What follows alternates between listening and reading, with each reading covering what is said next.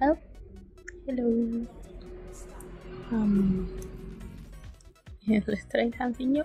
Um, I'm gonna be recording this video in real time of me coloring this. Um, this is the card that shows up at the end of my webtoon episodes. Um, and it's not a new season ahead. It's uh, last season, so I'm gonna uh, renew the card.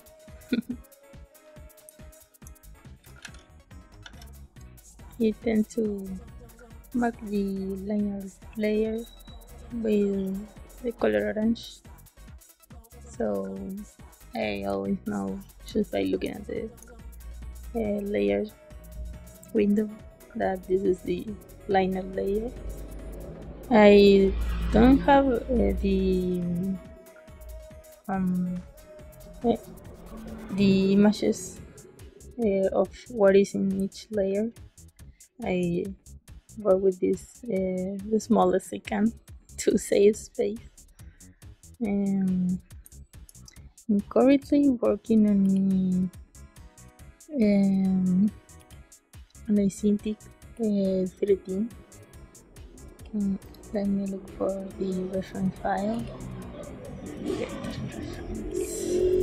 Here, this is the navigation tool. Um, here, when I can find all the colors just by by putting my cursor here, the cursor transforms into a color picker and I don't need to press anything for it to, to change. So we have uh, all my references here. Prefer this over the. Uh, I firstly first I, I made a color palette with all my characters, uh, but I, I find this to be more useful. Like a better uh, visual reference. Hmm. Let's see. We go. Oh, whoops. Well, I first of all I mark the the liner layer as a reference layer. It's the lighthouse uh, icon here. Um, I made a new layer below for the colors. Then I press B to go to the um, to to the um, oh, sorry to the brush um, I cover all the little gaps. And when everything is close I just fill it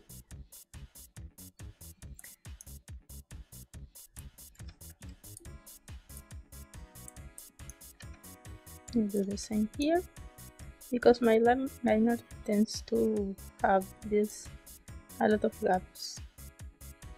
And if I just fill this well we all know what happens. The colors just go everywhere.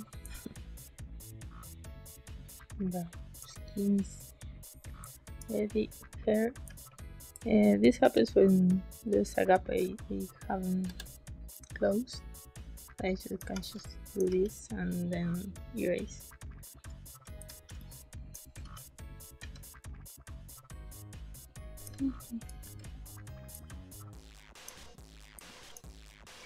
I put all my colors on the on the same layer.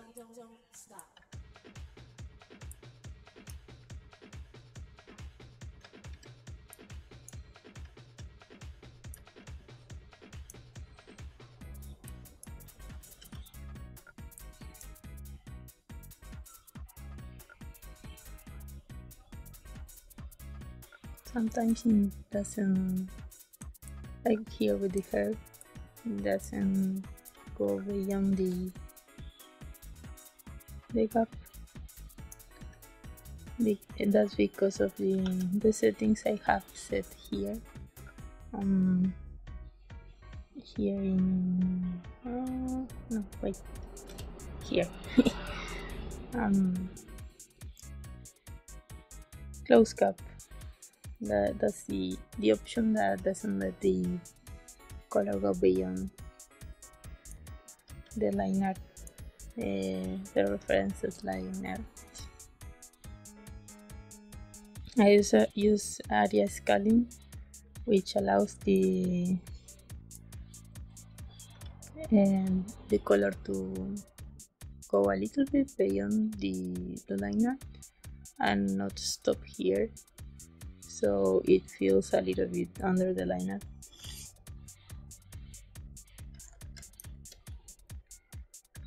Let me let me show you. This is hiding the liner layer. You know you see there's a some liner here but the thanks to the area scaling it uh, covered that part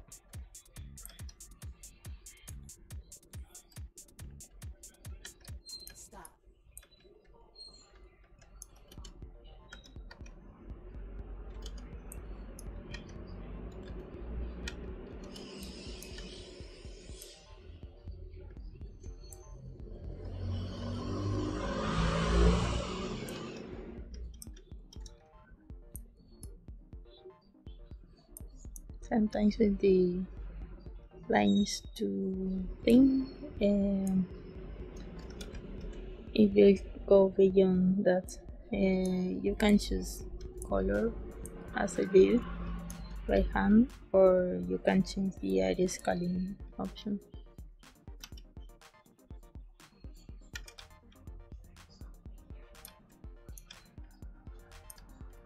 Tweaking tweaking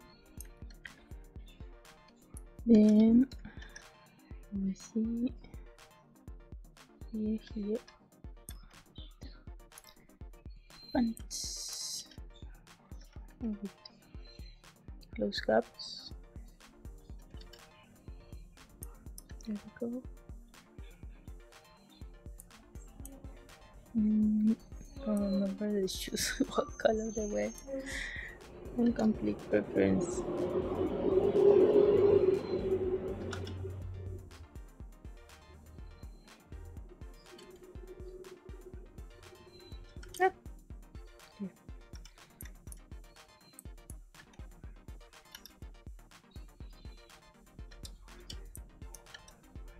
And well, this is a test video to see if it looks well. And uh, I hope this help, helps someone out there. And consider giving it a like if it helps you. If you wanna see more content like this in real time, or comment below if you prefer speed the speed up process. I hope my, my talking uh, skills uh, get better with time. There, we have the guy painted. Color phone.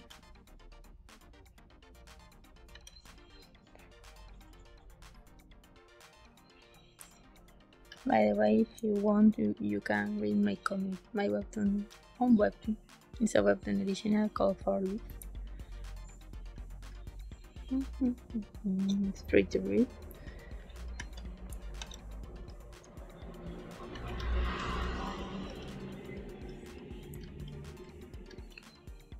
Okay, we got the base colors, everything on the same layer.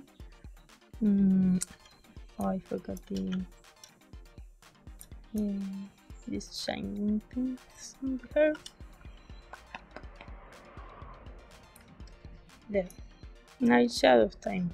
Um, I have uh, the. Oh, let me save the file. Save regularly, please.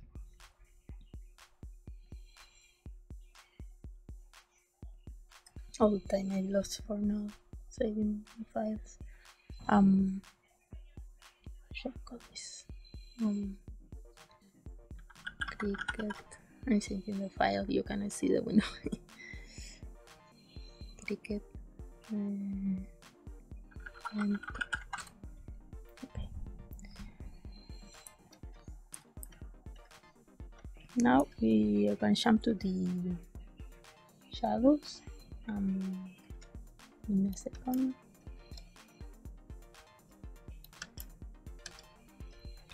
there um, I have my shortcut for uh, an action that uh, creates a multiply layer. It, it is F5 when I press F5, it creates a layer on top of the one I'm working on. Uh, it gives it this uh, purple color and it turns it into a multiply layer uh, you cannot see the pop-up button. You have all the, the layer types there. So time for shading I usually use this color for shading I have all my most recurrent colors saved here. Um, this is black white. This is the color I use for the lines um, this is a dark blue that I also use for darker lines and this is the color I usually use for for shadows. And I use the, this appendix G point for, for shading. And it's the same process. Uh, keep the liners as reference layer and that will uh, make the limits for uh, your lines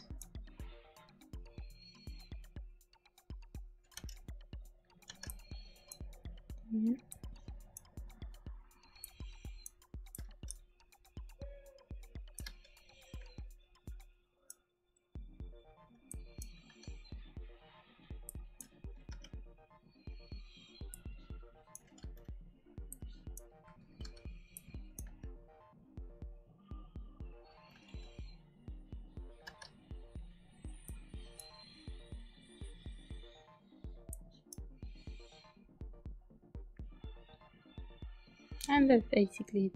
the most important part is uh, to have the reference layer uh, the line art as reference layer um, and this option mark on the on the bucket tool um, that is um, referred to multiple layer and the lighthouse here apply uh, that's the base. I should have started from there. Sorry. Mm, playing that. Yeah this is uh, crucial to have if you want to be able to to to be able to feel the with the bucket tool for it not to go beyond the liner.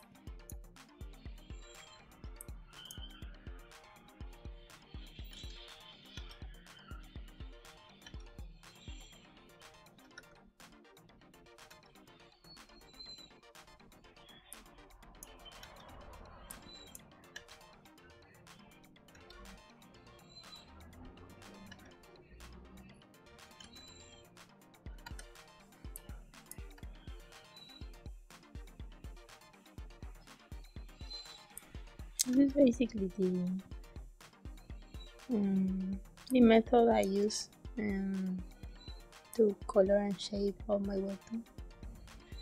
Uh, it gets really easy and, and fast once you you get the hang of it.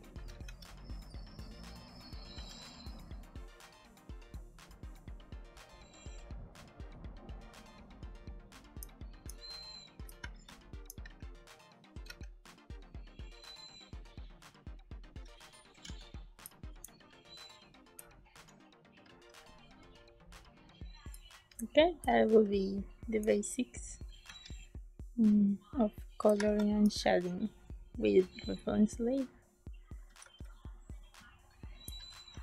so to to review this we have um,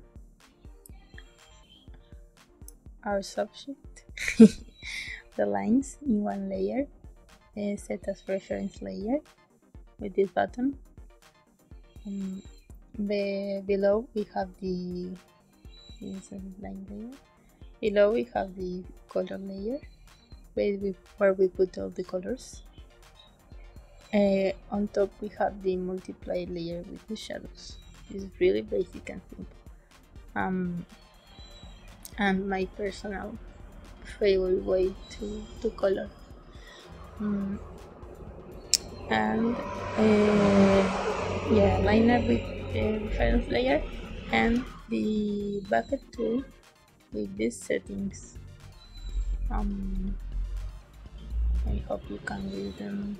Maybe I can do a close-up of this later with the magic of it.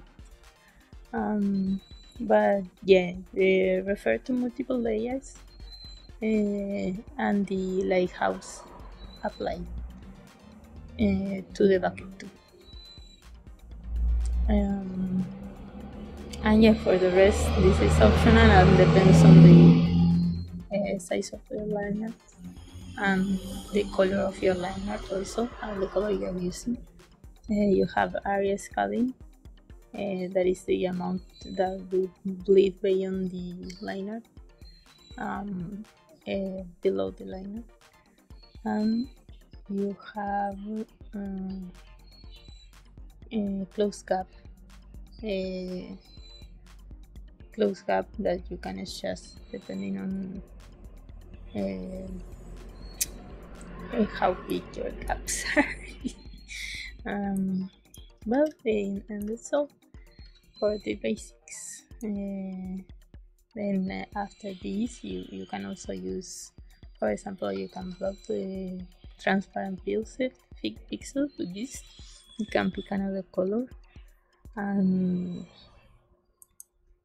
we can use uh, another tool to modify the, the shadows and make it look different. Or same for the liner or the colors. Um, but yeah this has been the, the basics for coloring and, and shading technique that, that I use. Thank you for watching. Let's see how this goes after it. Mm, wait, no, wrong button. There. bye bye.